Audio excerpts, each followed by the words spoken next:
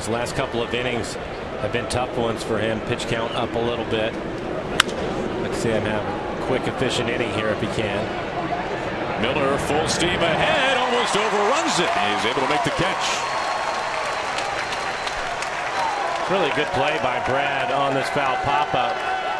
As he's running towards the foul line, he'll take a quick look again to see where he is at.